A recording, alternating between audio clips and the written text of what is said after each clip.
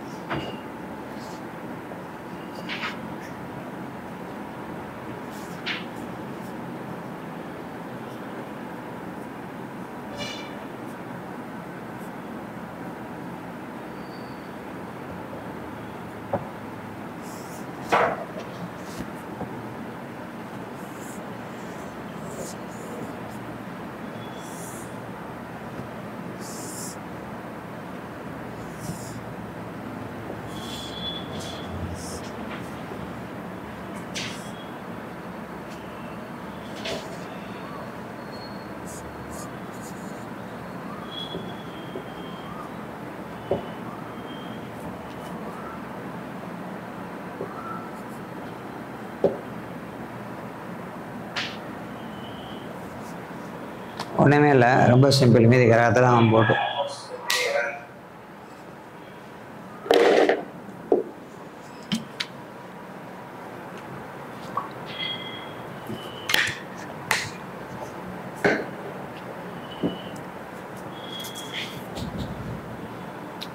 இப்போ எதிரிகள் தொந்தரவு.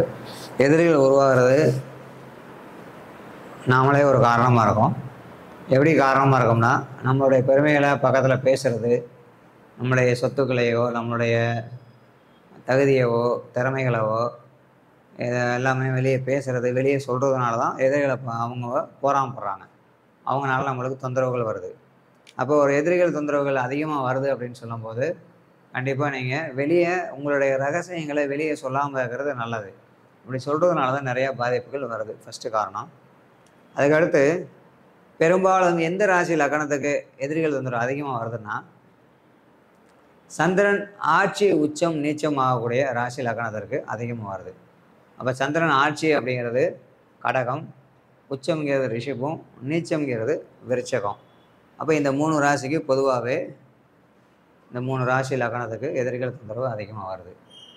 அதுக்கு அடுத்து வந்து பார்த்தீங்கன்னா இப்போ சிம்ம லக்கணத்துக்கு இருப்பாங்களான்னா கண்டிப்பாக இருப்பாங்க. அதுக்காக இப்போ சிம்ம லக்கணத்துக்கு இல்லை கன்னி லக்கணத்துக்கு இல்லைன்னு இல்லை. மீதி லக்கணங்களை விட இந்த லக்கணத்திற்கு கொஞ்சம் அதிகமாக கம்பல்சரி வந்து எதிரிகள் தொந்தரவுகள் இருக்காங்க அப்படின்னு அர்த்தம். அதுக்கடுத்து லக்னாதிபதி ஆறில் இருந்தாலோ லக்ன அதிபதி ஆறில் இருந்தாலோ அல்லது ஆறாம் அதிபதி லக்னத்தில் இருந்தாலோ அந்த ஜாதகத்துக்கு கம்பல்சரி எதிரிகள் தொந்தரவு இருந்துக்கிட்டே இருக்கும். வாழ்நாள் முழுக்க இருக்கும். இப்போ ஆறாம் அதிபதி இந்த லக்னத்துக்கு செவ்வாய். அவரே லக்னாதிபதி ஆகிறாரு. அப்படி ஆகி அந்த செவ்வாய் இவரை எட்டாம் பாதியாக பார்க்குறாரு லக்னத்தை. இப்போ ஆறாம் அதிபதி பார்த்தா செ எதிரிகள் இருப்பாங்களா செய்வனி இருக்குமா? இந்த ஆறாம் அதிபதி கூட ராகு சம்மந்தப்பட்ட ராகு சம்மந்தப்பட்டு இப்போ பார்க்கறதுன்னு பார்க்குதுன்னு வச்சுக்கோங்க. இது கூட மாந்தி பார்வை. இப்படி இருந்தால் எதிரி செய்வனை செஞ்சு வச்சுருக்கான்னு அர்த்தம். எதிரி செய்வனை செஞ்சு வச்சுருக்கான். உங்கள் உடம்புல காயமாகணும்னு சொல்லி செய்வனை செஞ்சு வச்சுருக்கான்னு அர்த்தம். சரிங்களா? சார் இதே ஆறாம் இது- இல்லை சார் இங்கே குருவாக இருக்குன்னு வச்சுக்கோங்க. ஒரு உதாரணத்துக்கு லக்கணம் மாற்றி பார்க்கலாம்.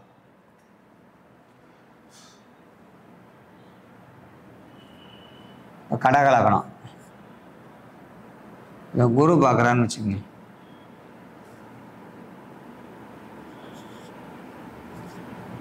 ஆறாம் தேதி குரு லக்னத்துக்கு ஆறாம் அதிபதி குரு ஒன்பதாம் இடம் பாக்கியஸ்தானத்துலேருந்து பார்க்குறாரு. அப்படி இருக்கும். இந்த ஜாதகம் எதிரிகள் தொந்தரவு இருக்குமா? குரு பார்வை இருக்கும் ஜாதத்துக்கு இருக்குமானா? இருக்கும். அதே மாதிரி செய்வனி இருக்குமா? இருக்கும். சரிங்க சார். இந்த ஆறாம் அதிபதி குரு உச்சமாக இருக்கார். எங்கள் லக்கணத்துலேயும்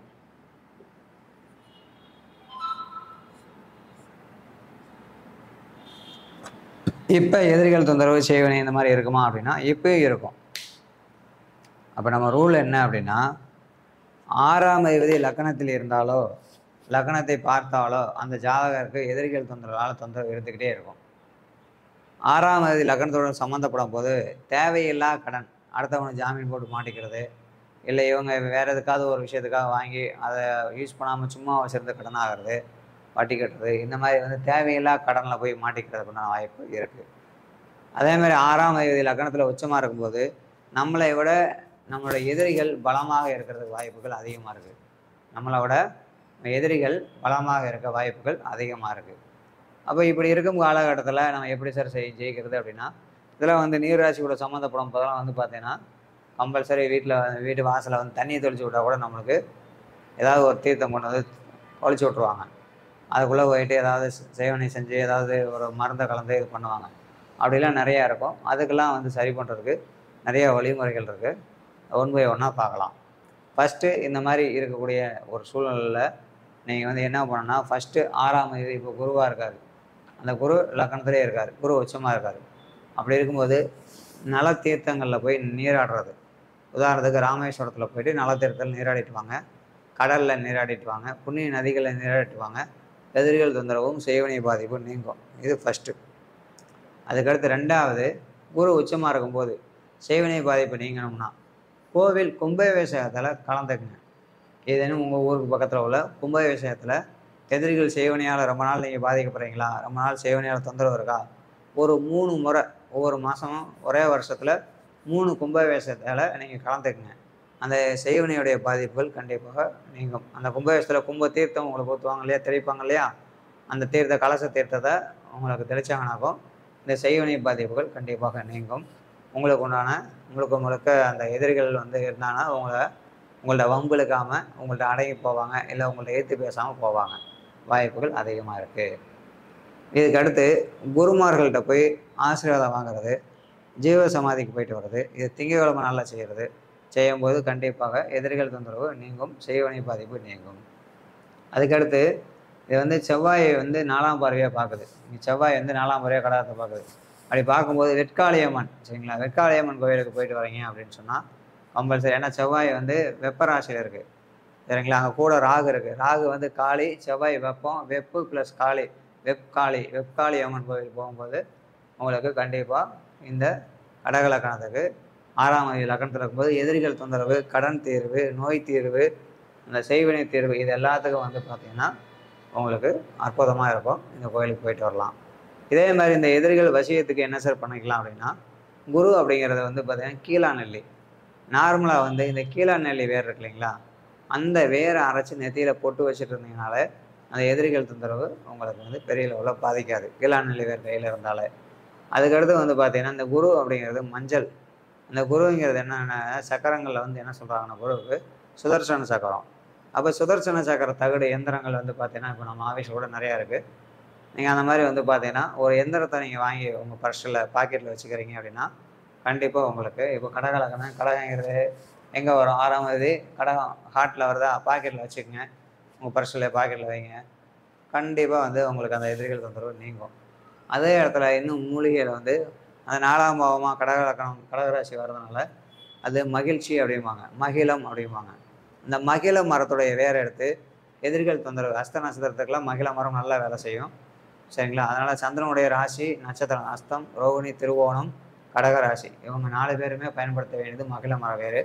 இவங்களுக்கு கடன் நிவர்த்திக்காகவும் எதிரிகள் தொந்தரவுக்காகவும் அந்த வேரை எடுத்து பர்ஸில் வச்சுக்கிறது.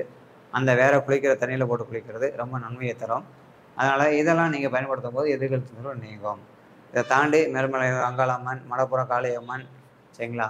நார்மலாக வெக்காளியம்மன் அது மாதிரி வந்து உக்கரமான காளி கோயிலுக்கு அதிகமாக போயிட்டு வரும்போது உங்களுக்கு எதிர்கள் தொந்தரவு நீங்கும்.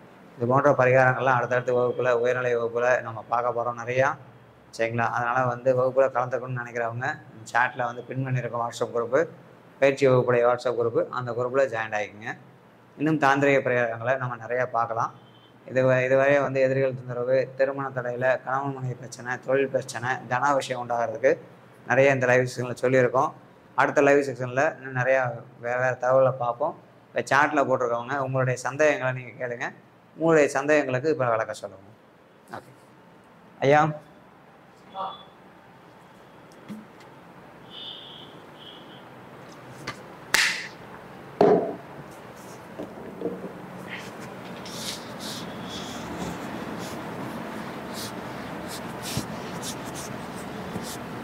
ね、っ絡をしたから。